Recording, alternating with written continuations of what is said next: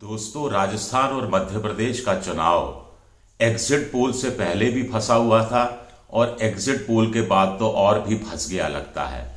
तो आइए दोनों राज्यों को डिकोड करने की कोशिश करते हैं और जानने की कोशिश करते हैं कि आखिर राजस्थान में कौन जीत रहा है और मध्य प्रदेश में कौन जीत रहा है। नमस्कार, मैं हूँ आपका दोस्त विजय विद्रोही। आप मुझसे जुड़ चुके हैं। इसके लिए आप सबका तहे दिल से शुक्रिया। अगले कुछ आठ दस मिनट में आपसे जुड़े रहने की कोशिश करूँगा। मध्य प्रदेश और राजस्थान को लेते हैं। बड़ा कंफ्यूजिंग सिनेरियो है। एक बार आपको सिर्फ़ याद दिलाने के लिए है कि राजस्थान में देखिए 199 सीटें हैं। बहुमत के लिए 100 सीटें चाहिए। जन की बात में राजस्थान में कांग्रेस को 62 से 85 और बीजेपी को 100 से 22 सीटें मिली हैं। 122 सीटें मिली हैं। लेकिन हम बात कर रहे हैं सिर्फ़ दो पोल की। दो पोल की बात करेंगे और दो पोल के हिसाब से डिकोड करने की कोशिश करेंगे। राजस्थान की बात करें तो हम आज तक और एबीपी न्यूज़ को लेते हैं। आज तक के लिए माई एक्सिस इंडिया ने पोल किया है और एबीपी न्यूज़ के लिए सी वोटर ने पोल किया है। अब आज तक का पोल ओवरलैपिंग है। यानी वो दोनों की सरकार बना रहा है और दोनों की सरकार नहीं बना रहा है। तो जब पोलस्टर ही निश्चित नहीं है कि किसकी सरकार बन रही है किसकी नहीं बन रही तो ऐसा पोल फिर उन्होंने जग ज़ाहिर क्यों किया? सामने क्यों लेकर आए? किसी नतीजे पर खुद तो पहुँचते, इतना बड़ा संस्थान है, इतना बड़ा आप पोल कर रहे हैं। संस्थान पर दोष देना ठीक नहीं है, ये तो एजेंसी है, जो माई एक्सेस इंडिया है। हो सकता है वो सटीक बैठ जाए तो मुझे अपने शब्द वापस लेने पड़ जाए। अब, माई एक्सेस इंडिया क्या कहता है कि छियासी से 106 कांग्रेस की, यानी ऑन एवरेज 96 कांग्रेस की 80 से 100 बीजेपी की, यानी 90 बीजेपी की सीटें आ रही हैं। यानी किसी की भी सरकार बन सकती है। कांग्रेस की 106 आई तो कांग्रेस की सरकार बन गई, और बीजेपी की 100 आई तो बीजेपी की सरकार बन गई।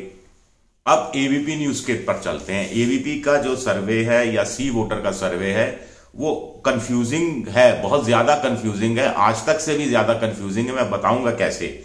लेकिन ये कम से कम ओवरलैपिंग नहीं है।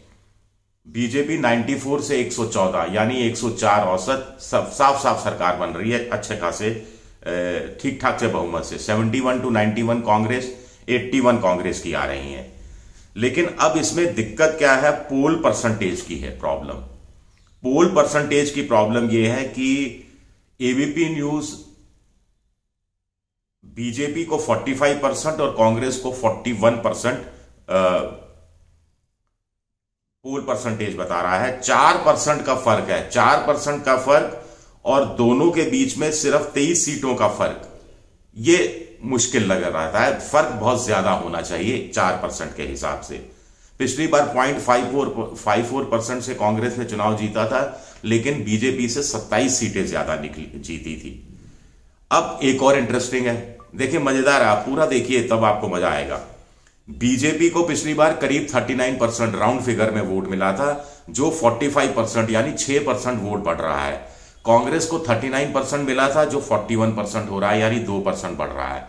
लेकिन अन्य का देखिए, अन्य का करीब 22 परसेंट वोट था, जो कम होकर 14 परसेंट पर आ रहा है। तो अन्य का करीब आठ परसेंट वोट घट रहा है। अब बीजेपी का जो वोट बढ़ रहा है, वो अन्य के खाते से जा रहा है। कांग्रेस को वो छेड़ नहीं रही, कांग्रेस के हिस्से में सेंधमारी नहीं कर रही, ये कांग्रेस के लिए पॉजिटिव पॉइंट हो सकता है कि आप पाँच साल अगर आपने एंटी इनकम्बेंसी वाली सरकार चलाई, लेकिन आपका वोट परसेंटेज फिर भी दो दो परसेंट बढ़ गया।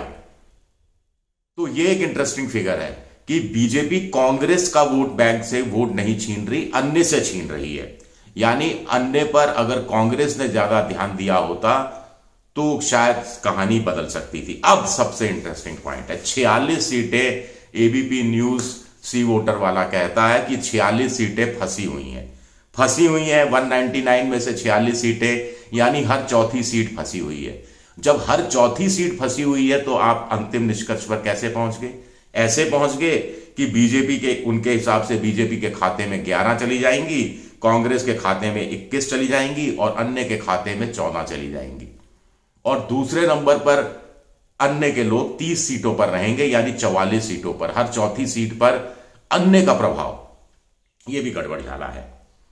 अब मज़ेदार बात है कि सी वोटर के ही लोग कह रहे हैं कि साहब, हमने तो यह कह दिया 46 में से बीजेपी के 11 एक कांग्रेस के पास 21 लेकिन 46 सीटों में अगर 80 परसेंट सीटें बीजेपी जीत जाती है, फंसी हुई तो बीजेपी 130 पार चली जाएगी। लेकिन कांग्रेस ने 80 परसेंट सीटें जीती तो भी वो नब्बे बानवे से पार नहीं जा पाएगी।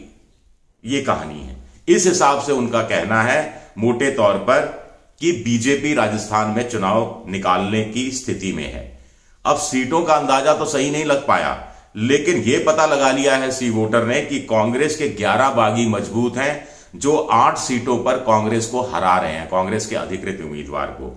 बीजेपी के नौ बागी मज़बूत हैं, जिसमें से वो छह सीटों पर बीजेपी को हरवा रहे हैं। मान लो नहीं हरवा रहे, मान लो सिर्फ़ वोट कटवा साबित हो रहे हैं। मान लो कम मार्जिन से कांग्रेस, बीजेपी इन सारी सीटों को जीत रही है तो इंटरेस्टिंग क्या है?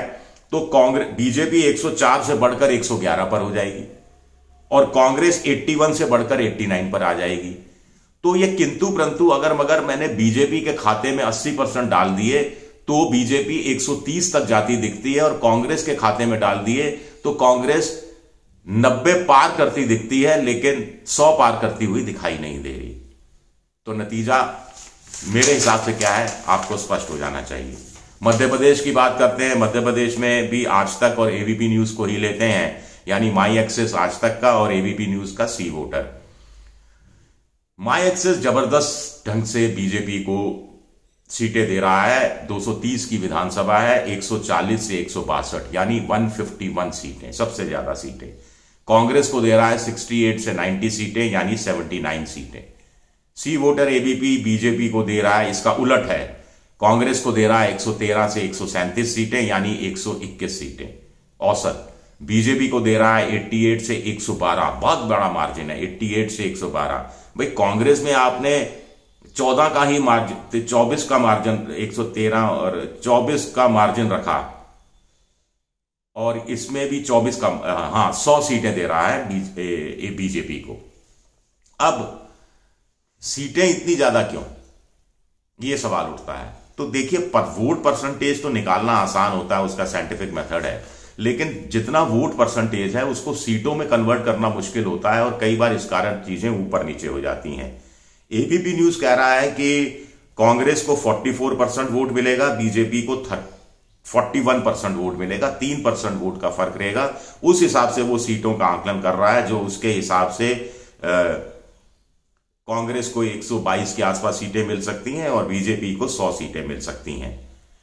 आज तक वाला कह रहा है कि बीजेपी को कांग्रेस से छह परसेंट वोट ज़्यादा मिलेगा। तो ये उलटबांसी है। तो उसके हिसाब से वो ज़्यादा सीटें प्रोटेक्ट कर, प्रोजेक्ट कर रहा है। अब आखिरी में फिर फंसी हुई सीटें। राजस्थान में एबीपी न्यूज़ सी वोटर के अनुसार छियालीस सीटें फंसी हुई थी, हर चौथी सीट। फिर भी नतीजा निकाल दिया उन्होंने अपने हिसाब से। मध्य प्रदेश की 230 में से बासठ सीटें फंसी हुई हैं। यानी हर पौने चार सीट, यानी 3.9 सीट के आसपास फंसी हुई है। और फिर भी आपने नतीजा निकाल दिया। अब इन्होंने क्या किया? मध्य प्रदेश में एबीपी न्यूज़ वालों ने सी वोटर वालों ने, कि कौन लफड़ा मोल ले बासठ सीटें फंसी हुई है? मोटे तौर पर राजस्थान की तरह अन्य का वहाँ उतनी स्थिति है नहीं तो आधी आधी बांट देते हैं सुविधा अनुसार तो बासठ में से इकतीस सीटें बीजेपी के खाते में डाल दी, इकतीस सीटें डाल दी कांग्रेस के खाते में। अब मान लीजिए बासठ में से इकतीस की जगह कांग्रेस 40 सीटें जीतती है। तो कांग्रेस आराम से 130 पार कर जाएगी। और 50 सीटें जीतती है तो कांग्रेस 150 पार कर जाएगी। और अगर बीजेपी 62 में से जो 31 जीतती हुई इनको दिखाई गई है, फंसी हुई सीटें, उसमें से 40 जीतती है तो बीजेपी फिर 110 के आसपास जाती हुई 110 111 आसपास जाती हुई दिखती है। और 50 सीटें जीतती है तो 120 के आसपास जाती हुई दिखती है। लेकिन कांग्रेस का मामला थोड़ा ज़्यादा साफ़ दिखता है। तो आप समझ गए होंगे मैं किस तरफ़ इशारा कर रहा हूँ। शुक्रिया मेरा ये वीडियो देखने के लिए। पसंद आए तो लाइक कीजिए, सब्सक्राइब कीजिए, शेयर कीजिए और घंटी जैसी आकृति बेल आइकन दबा दीजिए ताकि नया वीडियो आए तो तत्काल आपको जानकारी मिल जाए। आप मेंबरशिप ड्राइव में भी जा सकते हैं और मेरी वित्तीय मदद कर सकते हैं। एक्स यानी ट्विटर पर मैं विद्रोही सेवन के नाम से हूँ। इंस्टाग्राम पर विजय विद्रोही सेवन के नाम से हूँ। और फेसबुक पर मेरा पेज है विजय विद्रोही पेज जहाँ आप मुझे फॉलो कर सकते हैं। आपका शुक्रिया बहुत बहुत शुक्रिया।